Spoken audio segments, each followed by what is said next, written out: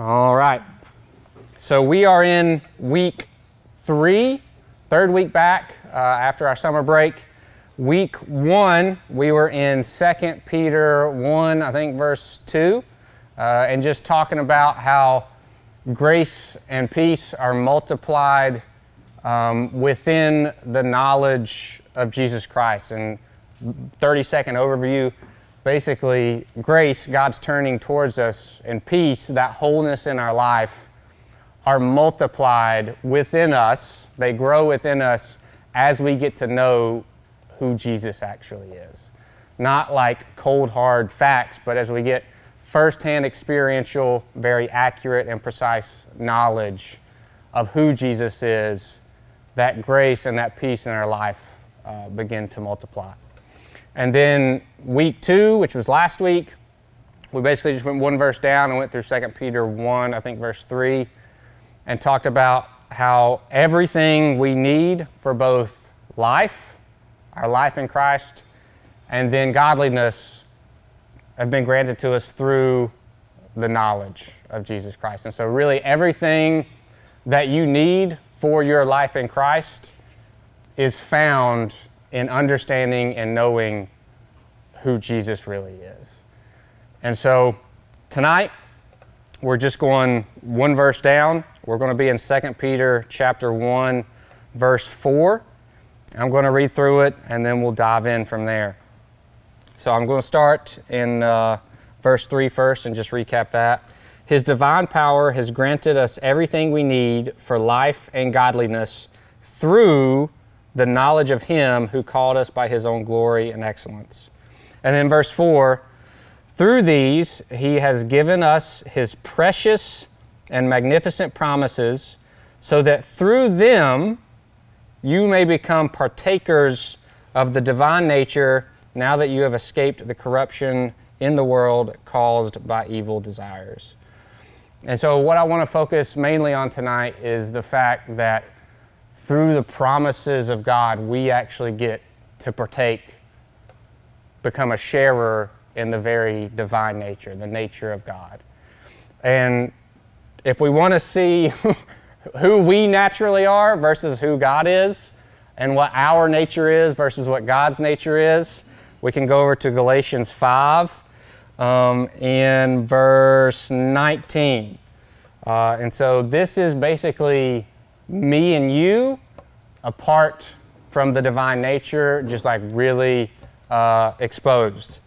The acts of the flesh are obvious sexual immorality, impurity, debauchery, idolatry, sorcery, hatred, discord, jealousy, rage, rivalries, divisions, factions, envy, drunkenness, orgies, and the like. Which Paul is basically just like, and just everything else that's not super good, right? Um, so that doesn't mean that everybody's out getting hammered every night or that everybody's having orgies, right? But it's saying the acts of who we are in our nature are in this. It might just be divisions, you're envious of your neighbor because you want what they have and you can't have it.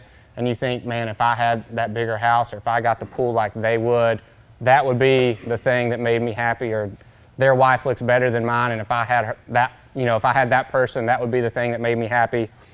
Um, rage that anger that rises up in you to where you just want to like punch people in the throat for no really good reason sometimes right? Anybody ever been there where you're just like i'm just ang- everybody annoys me today and i have no idea why. They're just breathing loudly right? Um, discord you just don't get along with people, right? Like there's, you hate this person, they hate you. Uh, there's drama at work and people aren't getting along. Like all that stuff we live with pretty much every day, right? And if we're being honest, it's in the church just as bad as it is anywhere else, right? Like people gossiping about people, people mad at people, and everything else because we're human. And like we are being transformed from glory to glory into the image of Jesus Christ, but we're really not there yet. And so a lot of, uh, a lot of this, if we're being honest, still is very alive and very well in our lives, whether we'd like to admit it or not. And so that's what lives in us naturally apart from the Holy Spirit and the divine nature being inside of us. That is us, right? Like some people are probably naturally nicer because of the environment they were raised in or just their temperament. Some people are naturally more aggressive, whatever else. But still, this is our natural inclination. And sometimes you've met those really seemingly nice people, and then they'll like slit your throat, and you don't. You're like, that came out of nowhere, right? And so, like, even really seemingly tender and gentle people, apart from the divine nature being inside of us through the Holy Spirit, like, we're still that. Like, that is us at the end of the day. But if you go down to verse 22 in Galatians 5, it says, But the fruit of the Spirit is love, joy, peace, patience, kindness, goodness, faithfulness, gentleness, and self control. Now, I don't know about you, but those don't really come naturally to me. Right? Like, if you were probably to describe your workplace uh, or describe other places in the world and just what you interact with each day, I doubt many people would describe it as loving, joyful, peaceful, a lot of patience everywhere I go. There's a lot of kindness, a lot of goodness, a lot of faithfulness, a lot of people just being really gentle, and everybody's very self controlled. It's probably not what we experience most of the time. And so that's kind of the, the difference in our nature and who we naturally are, and then God's nature and who He is. And you can even go over, if you wanted to, you go to 1 Corinthians, I think it's 10 or 1 Corinthians 13, the love chapter that's quoted basically at every marriage, like every wedding you've ever been to. But that, you know, love is patient, love is kind, doesn't envy, it doesn't boast. And that God is love, so those are actually describing characteristics of who God is. But that's the divine nature in a nutshell. In contrast to our nature, it's very, very, very, very different. And it's not something that ever just like comes naturally to us in this world apart from God. And so that's our nature versus the divine nature. And I want to go back to 2 Peter uh, 1 4. And it says, Through which he has given us his precious and magnificent promises, so that through them you may become partakers of the divine nature. And so there seems to be a lot of significance around the promises of God in Scripture and what they actually mean and do for our lives. Because it says, through them you may become a partaker, you share in literally the divine nature, the nature of who God is. You get to share in that in such a way that you're transformed. And what we read about in Galatians 5 the acts of the flesh would start to disappear in your life in favor of the fruit of the Spirit starting to appear in your life through these precious and magnificent promises. And so it seems pretty significant to what these promises actually do in our life. And there's a whole lot of promises in Scripture. I don't by any means know all of them to any degree. Um, but there were a couple and one main one that I really wanted to focus on tonight. And the first one is um, just the promise of the Holy Spirit Himself. This was promised several times, multiple times in the Old Testament. Um, one time's in Ezekiel 36, and it says, I will give you a new heart and put a new spirit within you. I will remove your heart of stone and give you a heart of flesh. Verse 27 And I will put my spirit within you and cause you to walk in my statutes and to carefully observe my ordinances. And so that's Old Testament. That was Ezekiel. He was a prophet in the Old Testament. And that was a prophecy about what would happen when Jesus came, died, and rose again, and then the Holy Spirit fell at Pentecost in Acts. And you see in Ephesians 1, verse 13, it says, And in him, having heard and believed the word of truth, the gospel of your salvation, you were sealed with the promised Holy Spirit, who is the pledge of our inheritance until the redemption of those who are God's possession to the praise of his glory. And then, because we have the Holy Spirit within us, like, just for a second, think about that. So, the same Spirit that was in the Apostle Paul, that wrote basically almost all the New Testament, the same Spirit that was in Peter while he was getting stoned to death and he was asking that their sins may not be held against him as they were hurling insults at him and literally killing him. The same Spirit that empowered him to do that, for those of us that have put our faith in Christ, that Spirit is within us. So, like, every time you go to read the Bible as a believer, as somebody who's put their faith in Christ, the Spirit of God that inspired people to wrote the Bible, that inspired people to write the Bible, that same Spirit that inspired them to write it lives in you.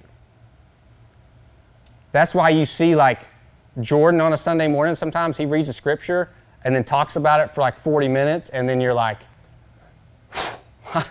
never gotten that out of that before, right? Like you're like, sometimes you're like, well, I've read that book of the Bible multiple times. I didn't even know that scripture was in, in that part of the Bible, right? But he's dwelled on it for so long, and the Spirit of God that wrote it lives in him and is able to bring out the depths of what that really means. Like imagine if you had the spirit of somebody else living inside of you to tell you the real motive behind everything they ever did, right? Like if, say for sake of argument, your wife's spirit was in you and she could actually explain to you what she meant by the stuff she said. You know what I mean? Like that'd probably be a different world, right? But if she was like, hey, when I said this, her spirit was in you, it's like, this is what I meant. Most of us would probably have a way different marriage, right? Because sometimes you're like, you told me it was fine, and I did it, but now I'm very understanding it was not fine. That was not one of the fines, it was a good fine, right? Um, but like the spirit of the God of the universe dwells within us. Like that's significant. But the old you also still lives in you.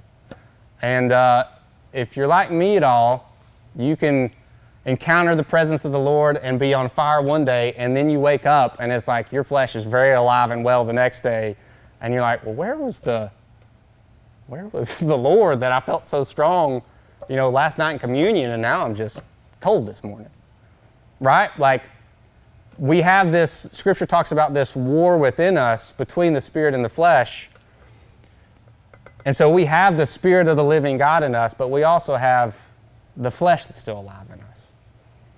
And so Scripture is saying that through the promises of God in Scripture, like we can partake of the divine nature, which means me and you don't have to live as lustful, grumpy, hateful people. Like, we don't have to live that way. Right? You're probably not going to wake up tomorrow and just be totally changed, but it will be gradual over time. But like you don't have to live that way.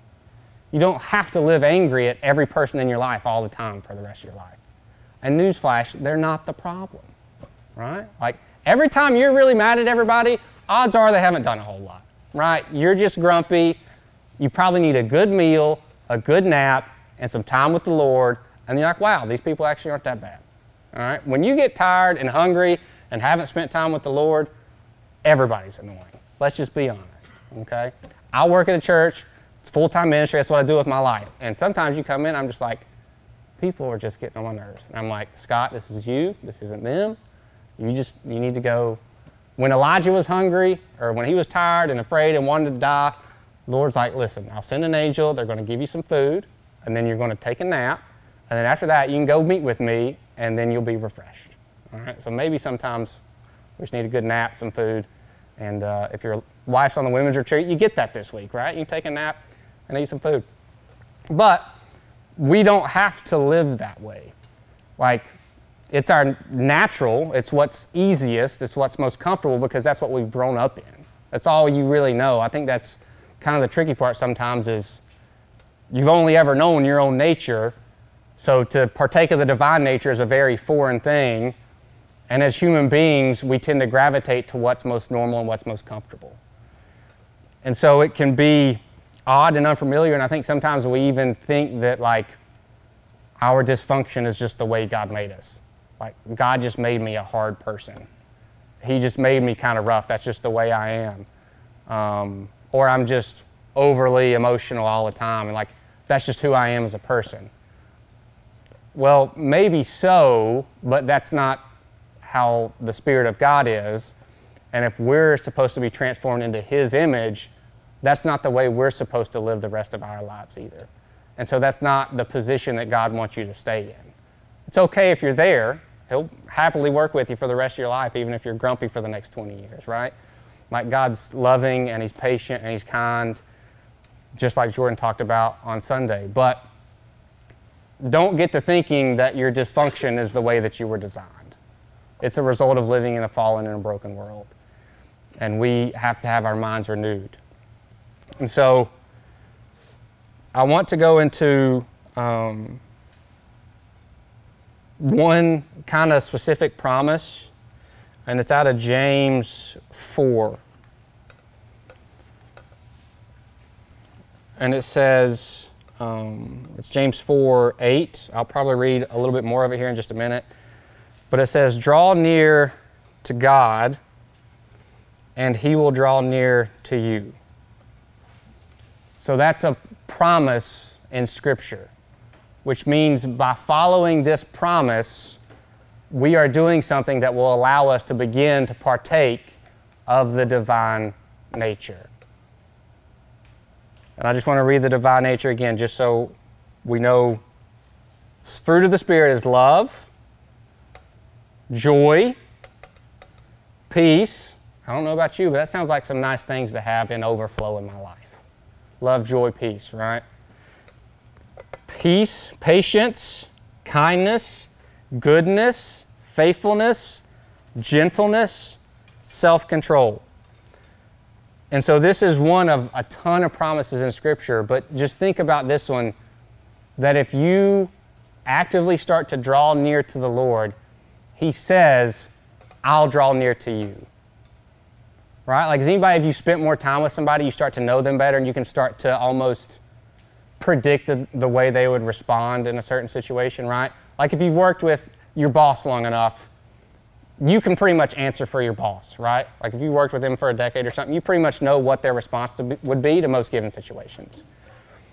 And so, as you draw near to God and He draws near to you, and you get to spend time with Him, encounter His presence, you get to partake, become a sharer in His nature instead of your own nature. And these things gradually over time for the rest of your life will start to become apparent. You'll have a love, I think, within you that you're very, very keenly aware isn't you. Like you'll just start to experience it might be your wife or your kids all of a sudden, or it may be some random homeless dude at a gas station, and it's like all of a sudden you feel this love, this compassion, and you're like, this isn't me. But you're aware of it. You've drawn near to God, He started to draw near to you, and you're, you're starting just a little bit to truly become a partaker of the divine nature.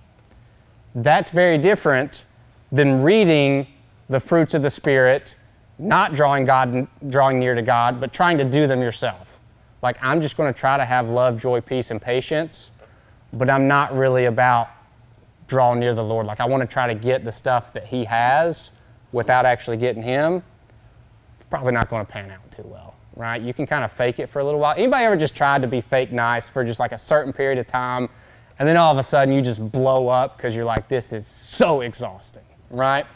Like, you know, you met those people too that like they're super nice at work and they get home and you're like, you know, they probably beat the dog and maybe their kids, right?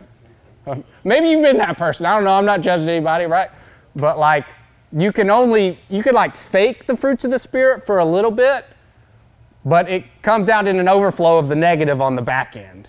You know what I mean? So, through that promise, you can see, okay, this is something from God. He says, if I draw near to Him, He'll draw near to me. And by doing that, just one of these promises, I can start to actually become a partaker in His nature, which is very different than just trying to change your old nature, right? Like changing your old nature is kind of like trying to polish a turd, just doesn't pan out too well. But when you actually get a new nature, it's not about trying to grit your teeth and do better. It's like you experience a love and a joy and a peace that you're like, this isn't me, but it's there. Like I feel it. I can tell like something's different in me, and I'm not forcing it. It's a byproduct of obeying the promise, essentially. And so he says, draw near to God, and he will draw near to you. And I want to go up and kind of read uh, a little bit more of James 4 and then jump into one other spot, and then I believe we'll be closed down after that, and we can go into discussion time. And so, um, James chapter 4, the headline of this one is A Warning Against Pride. Uh, so he says, What causes conflicts and quarrels among you? Acts of the flesh. Don't they come from the passions at war within you? You crave what you do not have, you kill and covet, but are unable to obtain it. You quarrel and fight. You do not have because you do not ask, and you do not ask, or when you do ask, you do not receive because you ask with wrong motives that you may squander it on your pleasures.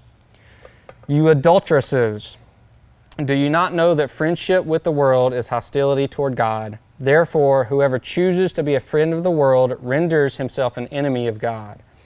Or do you think that Scripture says without reason that the Spirit He caused to dwell in us yearns with envy? But He gives more grace. That is why it says, God opposes the proud, but gives grace to the humble. Submit yourselves then to God, resist the devil, and he will flee from you. There's verse 8 Draw near to God, and he will draw near to you. Cleanse your hands, you sinners, and purify your hearts, you double minded. Grieve, mourn, weep. Turn your laughter to mourning and your joy to gloom. Humble yourselves before God, and he will exalt you. And so, in the first part of James chapter 4, uh, he's basically just like breaking down the acts of the flesh that they're kind of living in. And then in verse 6, in spite of this, in spite of the way you're acting, you're quarreling, you're fighting, you don't have because you don't ask, and then when you do ask, you're asking just for yourself, and so you're probably not going to get it. And then in verse 6, he says, But he, God, gives us more grace. That is why it says, God opposes the proud, but gives grace to the humble. And I think only recent, recently in my life, I've started to, I think, read things a little bit differently in Scripture in the sense that God only wrote it because He wants that relationship with me. And so He's saying, I want you to know that in your pride and your arrogance and your selfish selfish ambition, I am by nature opposed to that. That is the opposite of who God is. He says, so he wants you to know I oppose that way of life, but I give grace to the humble. And that grace, if you were here three weeks ago or two weeks ago, week one, that grace is like God turning, that God turning towards us to share benefit. And so I looked at, like, I read it in the sense of like, God put that in there because He wants you to understand the way of life to where He can pour Himself out on you in a fresh way. Not as like a condemning judgment, but as an opportunity to experience more of His presence. And so He's saying, even in this way of life, He still gives more grace and part of that grace is right now in this moment, He's saying, in your pride, I'm opposed to that, but man, if you humble yourself, I can dump grace on you like a river. And he's, he's wanting you to know that opportunity of like, you know, if your child's disobeying, you're like, if you do this, you will get a spanking. But what I'd rather do is have you come over here on the couch and I can give you like the biggest pop ever and we can watch a show. Because that's what you want, right? If I had it my way, I don't enjoy discipline at all. I'd rather not have to do it, but I care for my son's soul and I know it's for his best to do it out of love. But it's not my preferred thing. You know, even in the Old Testament, I found this interesting that God said He takes no delight in the death of the wicked. Like the God of the, as horrible as people are, like the worst of the worst, God, although we may, God said He does not delight in the death of the wicked. He said, wouldn't it rather that they would repent and live? Like that's the heart of God for the worst people in the world. He does not take joy in their death. And I think sometimes, like, we don't view God that way. We think God's like, yeah, get them wicked sinners, you know, crush them. Like hellfire and brimstone, right? Come down and get them. But God's heart is, I don't even, like, He's just and He's righteous, but He's also merciful and compassionate, and He doesn't even take delight in the death of the wicked. And so, I believe even tonight this is an opportunity to understand that if you've been trying to do it your own way, um, if you've been living in this discord, jealousy, rivalries, divisions, envy, whatever else, God's saying in the humility of drawing near to Him, He can pour out grace in your life. He can pour out blessing. He can pour out literally Himself so that you get to partake of who He is so that you don't have to wake up grumpy every morning. You don't have to have fits of rage. You don't have to, you know, want to chase all these other things because you're literally getting to share in His nature. And from the little bit I've tasted, it's the most calming and settling thing in existence. Right? Like if you've experienced the presence of God before, truly, whether it's in your own quiet time on a Sunday morning, maybe driving in the car and just listen, it's there's a calm over you that to me is better than anything else, right? I got a truck this year. I've wanted a truck for 15 years, right? If you were here last semester, you know the whole story about it. Um, and I'm telling you, that didn't make me a lick happier at all. Like, if anything, it made me just more nervous and anxious that something was going to blow up on it and I was going to have a really big repair bill, right? Because I bought an old diesel truck. And then diesel shot up an extra $2 a gallon right after I bought it. It was awesome. Um, but like I can promise you from the little bit of like whatever material stuff I've gained, like it does it ain't it ain't it. I'm telling you it ain't it at all. There's it's it's almost like a negative satisfaction. But there's a deep peace that comes from God's presence and he's saying like if you draw near to me and he's saying that because he wants you to. It's not like well if you you know how something like well if you drew near to me, I'd draw you know I'd draw near to you, but you aren't right? I don't think it's that connotation. It's if you draw near to me, I'll draw near to you. I mean, you think of even Pastor Jordan a couple weeks ago talking about like if you're burdened and heavy laden, come to me and I'll give you rest. You can learn from me. I'm gentle, I'm meek, I'm lowly in heart. Like that's God's heart. It's not, it's not, I think, oftentimes the lens we read it through. And so he's saying, Draw near to me, I'll draw near to you. And then right after that, he says, Cleanse your hands, you sinners, and purify your hearts, you double minded. Grieve, mourn, weep. Turn your laughter to mourning and your joy to gloom. Humble yourselves before the Lord, and He will exalt you. And then when I was reading that last night and even this morning, the immediate thing that came into my head was in Matthew chapter 5, Sermon on the Mount, the Beatitudes. If you've been in church at all, you've probably heard those before. But the very first one, as it says, Blessed are the poor in spirit, for theirs is the kingdom of heaven. And if you read the Beatitudes like promises, right? Blessed are those who mourn, for they will be comforted. Blessed are the meek, for they will inherit the earth. Blessed are those who hunger and thirst for righteousness, they will be filled. But that first one, blessed is the poor in spirit, like, it, it means like you're aware of your own spiritual brokenness and that like there is no spiritual hope in your life apart from God. And I believe that's what James is saying right here. He's saying, instead of laughter, grieve, mourn, weep, joy to gloom, humble yourselves. He's saying, have, realize that in all your rivalries and your double mindedness and your fits of anger and all that stuff, like realize I'm spiritually broken and empty. And you humble yourself and you go to God. And it says, Blessed are those people who are spiritually broke when they humble themselves, right? Before the Lord, He will exalt you. For theirs is the kingdom of heaven.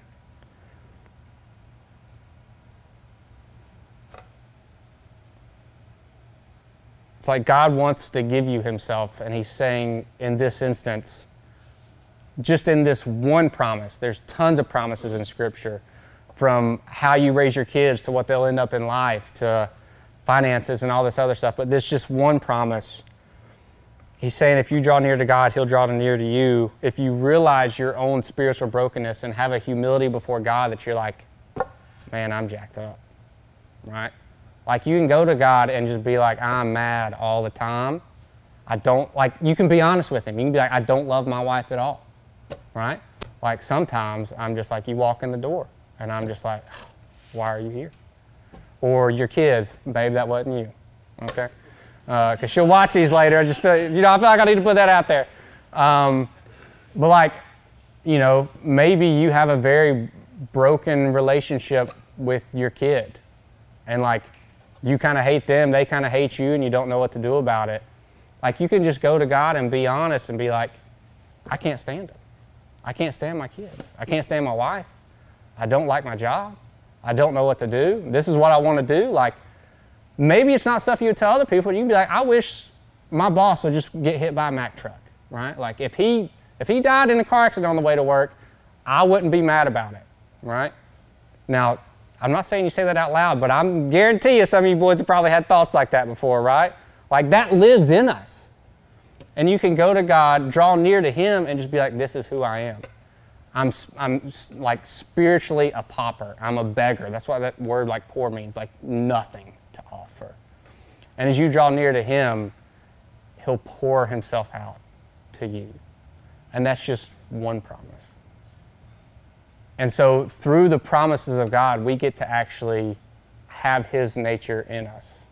It's not the old you getting better, which is tiring and doesn't pan out well. It's actually like you get to walk with the Spirit of God in you, and you get to have rivers of living water flow through you, and you get to actually have His nature. I've seen multiple people, almost all of them on staff here, like in the past few years I've been here, have a huge change because of this stuff right here. Like significant.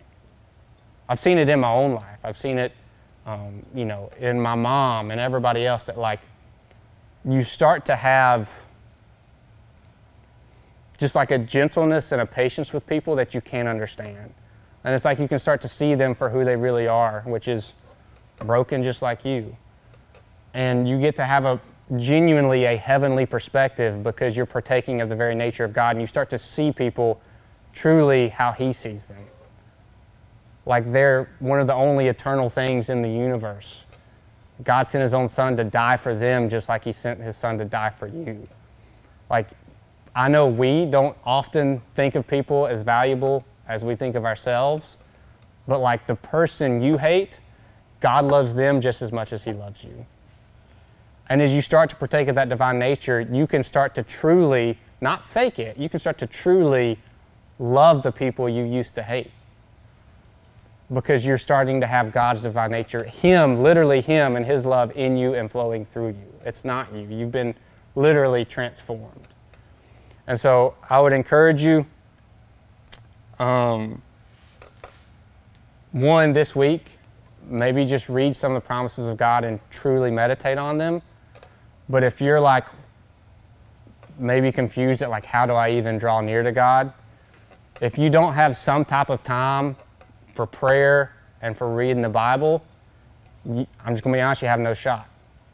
Right? Like if you got married to your wife but never hung out with her, you didn't really meet her much, you had one encounter, thought she was hot, did the I do's, and then you guys just kind of lived in separate buildings, probably wouldn't know her very well, right? And like you wouldn't be able to predict how she would respond to anything. You wouldn't have any of her nature with you at all. And so if you don't have time where you're truly spending time with the Lord through prayer and through reading the words, like you can't act on God's promises if you don't know them.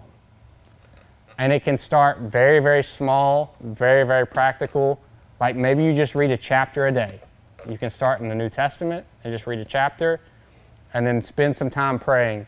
I know I talked about this a little bit last semester, um, but just like very practical. Some people like to just pray in their head. It doesn't pan out as well for me sometimes because you're like, you're praying and then you're like, oh yeah, I got to do that today and then that and then, oh yeah, we got to do this. And then all of a sudden you're like, well, I haven't prayed in five minutes. I've just been thinking about a bunch of random stuff. Um, but like I know Pastor Jamie likes to pray usually in his office with worship music and he just prays out loud when nobody's in there. And he said for, the, for him that helps him focus and just being honest with God. It's not like you don't need to be eloquent or anything else. You can just be honest with Him. For other people, like my mom growing up, she always journaled. So she wasn't praying out loud, but she would have her Bible. She needed complete silence. She didn't like music or anything that distracted her. So she did complete silence and just had like a notebook journal and she read.